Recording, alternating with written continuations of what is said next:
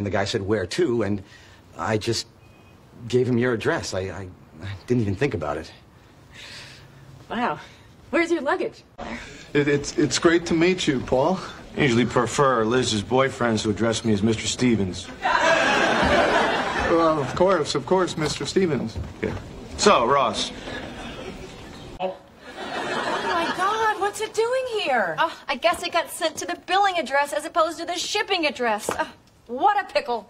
Oh my god, everything's such a mess. What? Or, yes, stranger, we'd like this delivered, please. Why don't you fill out this address card? Oh, okay. I noticed you've picked out a lot of our dinosaur items. Oh yeah. Actually, In English vocabulary, we will learn the word address. It means a speech or written statement, usually formal, directed to a particular group of persons. The president's address on the state of the economy. Also means a direction as to the intended recipient, written on or attached to a piece of mail. Pay attention to the pronunciation. The first one is the word represented using the International Phonetic Alphabet. To pronounce address, have in mind that the size of the syllable indicates where the accent or stress is.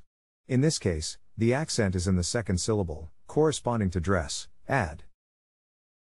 Below are other ways to pronounce it.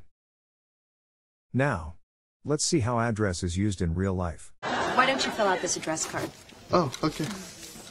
Just gave him your address. I, I, I didn't even think about it.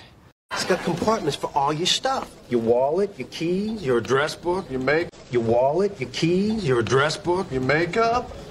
it's her address book. We have a guest list. Listen, I forgot your address. Can you give me a call? Thanks. Bye. We prefer Liz's boyfriends who address me as Mr. Stevens. Here. Oh, I guess it got sent to the billing address as opposed to the shipping address. Oh, They delivered it to the wrong address again. What name appears on the address label? Oh. Take the test at accent101.com to find out si sabes inglés o hablas inglés.